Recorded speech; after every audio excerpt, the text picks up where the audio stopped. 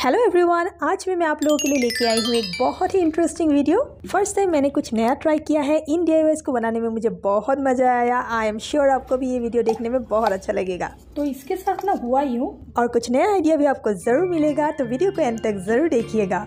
Welcome back to Moi Tres Crafty Castle तो आज के फ़र्स्ट डी को बनाने के लिए मैंने यहाँ पे यूज़ किया है इस टाइप का कुछ वुडन बीट्स इसको मैंने लोकल मार्केट से परचेज किया था। कुछ महीने पहले मैंने एक, क्रेट बनाया था और उसके लिए मैंने इसको खरीदा था और थोड़ा सा पीसेस बच गया था तो उसी को आज मैं यूज़ करने वाली हूँ। और अभी इन चारों पीसेस को ज्वाइन करने के लिए मैंने यहाँ पे यूज़ किया है जो बड़ा वाला पॉप्सिकल स्टिक आता है ना उसका। उसको मैंने कट करके जैसे वीडियो में मैं दिखा रही हूँ ऐसे मैं ग्लू के मदद से यहाँ पे चिपका दे रही हूँ। और ये जो पीसेस है ये परफेक्टली कट किया हुआ नहीं है तो इसीलिए थोड़ा सा गैप यहाँ पे रह गया है और इस गैप को फिल करने के लिए यहाँ पे मैंने फेब्रिकल मोल्डेड क्ले को इस टाइप से लगा दिया है और बिना किसी नेल या स्टेपलर का यूज़ किए एक फ्रेम यहाँ पे बन गया है। अच्छा है ना ये ट्रिक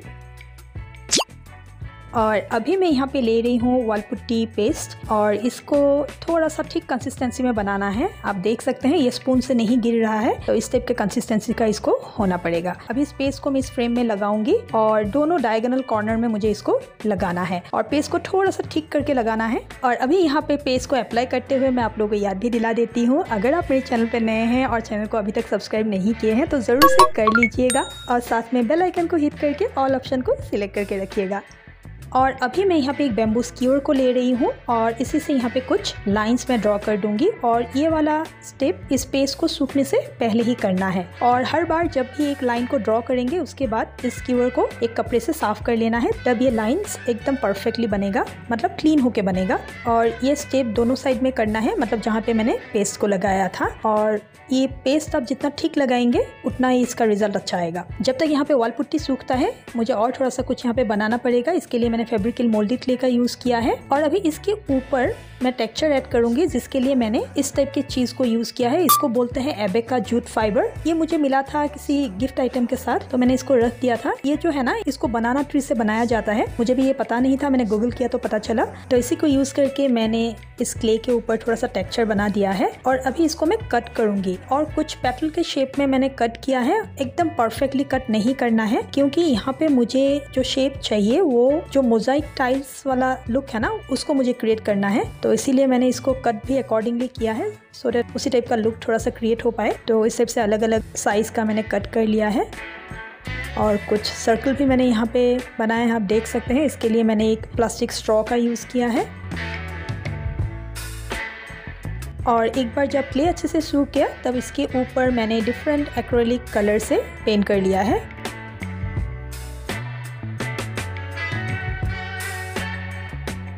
अभी इस फ्रेम के ऊपर भी पेंट कर लेना है। जो ग्रूफ बना था, उसको थोड़ा सा मैं हाईलाइट कर रही हूँ। इसके लिए मैंने बर्नस या एक्रेलिक पेंट के साथ थोड़ा सा व्हाइट कलर को मिक्स किया है। और जो वुडन वाला पोर्शन है, उसमें भी मैंने सेम कलर से पेंट कर लिया। तो इसका लुक थोड़ा सा क्लीन हो जाएगा। और जो वाल पुट्टी वाला पोर्शन था, उसके ऊपर मैंने व्हाइट कलर से पेंट कर लिया है। और यहीं पे मैं आप लोगों को बता दूँ, मेरे लास्ट कुछ वीडियोस में आप लोगों ने इतने प्यारे प्यारे कमेंट्स किए थे, उसके लिए थैंक यू सो मच बहुत ज़्यादा मोटिवेशन मिलता है आप लोगों का कमेंट से। इसी तरह इस चैनल के साथ अपना सपोर्ट बनाए रखिएगा। अच्छा अभी इस डी का सबसे इंटरेस्टिंग पार्ट है। ये जो क्ले का फ्लावर वगैरह मैंने कट करके रखा था, इसको इस फ्रेम में लगाना है। तो इसके लिए सबसे पहले मैं इसको प्लेस करके रख रही हूँ, कहाँ पे इसको लगाना है, और उसके बाद ग्लू के मदद से इसको फिक्स कर देंगे उसी जगह में।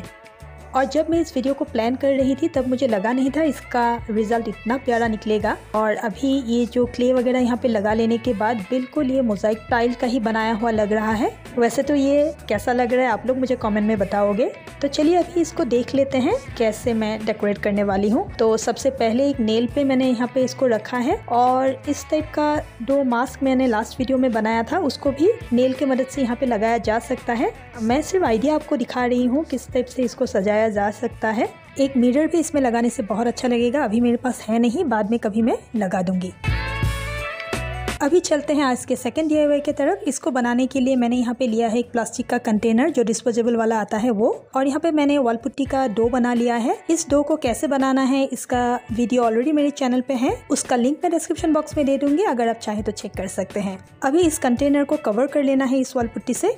तो आज ना, इसके साथ हुआ यूँ, मुझे जाना था स्कूल बच्चों को लेने के लिए और मैंने घड़ी देखा नहीं, वाल पुट्टी मैंने बना लिया और स्कूल से आके अगर मैं उसको यूज़ करती तो वाल पुट्टी बर्बाद हो जाता।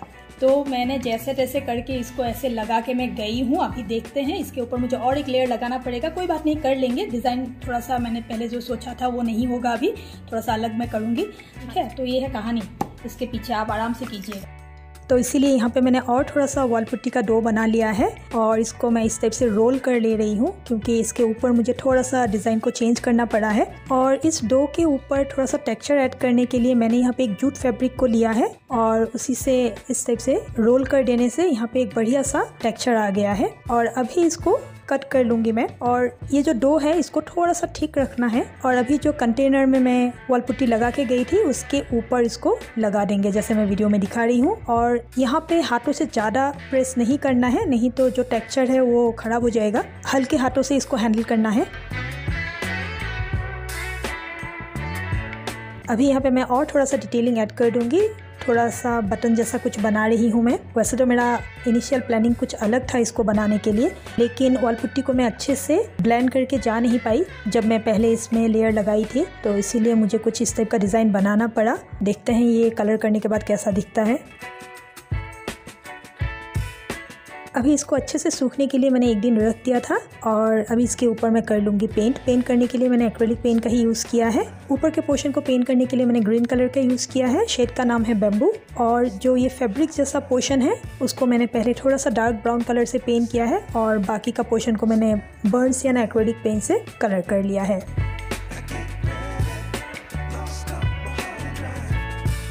और जो ये बटन वाला पोर्शन है, उसको थोड़ा सा हाईलाइट करने के लिए मैंने यहाँ पे यूज़ किया है लिटिल बर्डी का मेटलिक वैक्स गोल्डन कलर में है ये और बाकी के डिटेलिंग को भी मैंने पेंट करके कर लिया है कंप्लीट और अभी ये रहा इसका फाइनल लुक तो ये दिया हुआ आपको कैसा लगा मुझे कॉमेंट में ज़रूर बताइएगा आपका फीडबैक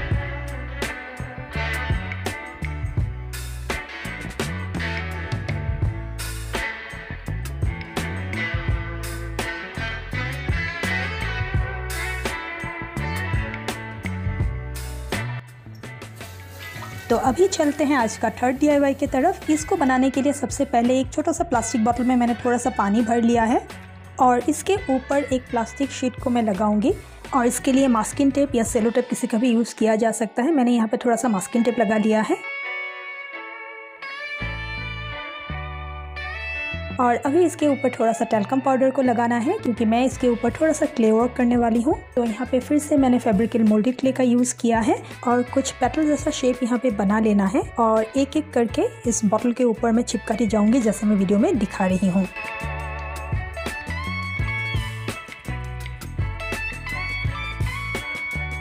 और यहाँ पे बेम्बू स्कीवर से मैं एक होल भी बना दे रही हूँ। बाद में इसका ज़रूरत पड़ेगा इसका स्टेम लगाने के लिए। और इस टाइप से पेटल का मैंने दो लेयर लगा लिया है और थोड़ा थोड़ा करके इस टाइप से इसके पेटल्स को ऊपर उठाना है। और एक तरीका है, जैसे एक फ्लैट सरफेस में मैंने थोड़ा सा टेलकम पाउडर लगा लिया था और इसको उल्टा करके वहाँ पे रख दिया था। लेकिन ऐसा करने से ये पेटल पूरा ही उलझ जा रहा था, वैसा लुक भी मुझे नहीं चाहिए था। तो इसीलिए फिर से मैंने इसको सीधा करके ही रख दिया। और सेम प्रोसेस से मैंने यहाँ पे और दो छोटे छोटे फ्लावर्स भी बना लिया था। लेकिन ये वीडियो मैं रिकॉर्ड करना ही भूल गई। प्रोसेस बिल्कुल सेम था, लेकिन जो बड़ा वाला फ्लावर है, उसमें जितना मैंने क्ले यूज़ किया था, उतना क्ले में मैंने दो छोटे छोटे फ्लावर्स बनाया। तो इसीलिए ये फ्लावर ज़्यादा क्यूट बना है। यहाँ पे मैं और एक तरीका दिखा रही हूँ। मेरे पास इस टाइप का एक कटिंग टूल है तो उसी से मैं एक फ्लावर कट कर रही हूँ क्ले से। और सेम प्रोसेस से मैं इसको बॉटल के ऊपर रख दूँगी। फिर से एक होल पहले बना के रखना है, और उसके बाद क्ले वगैरह लगा के और एक फ्लावर यहाँ पे बन जाएगा। इसका लुक थोड़ा सा परफेक्ट आया है, क्योंकि इसको मैंने कटर से कट किया है। इसको मैंने ऑनलाइन परचेज किया था इसका इसका लिंक अगर मुझे मिल जाएगा तो डिस्क्रिप्शन बॉक्स में मैं ये दे दूँगी। अब इन फ्लावर्स के लिए कुछ स्टैम्प्स बनाने हैं। इसके लिए मैंने यहाँ पे एक मेटल वायर का यूज़ किया है। ये एल्यूमिनियम का वायर है। ये कोई भी हार्डवेयर स्टोर में आपको बहुत इजीली मिल जाएगा और इसको अलग अलग लेंथ में मैंने कट कर लिया है। और अभी जैसे मैंने वीडियो में दिखाया है, थोड़ा सा क्ले लगा के इन फ्लावर के साथ इस वायर को मैं अटैच कर दूँगी।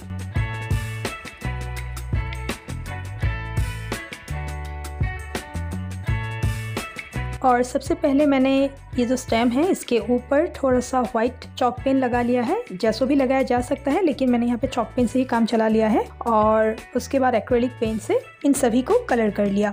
और कलर अच्छे से सूख जाने के बाद यहाँ पे वार्निश को भी लगाना है। अभी तक मैंने नहीं लगाया है, लेकिन तीनों डी में मैं वार्निश को ज़रूर लगाऊँगी।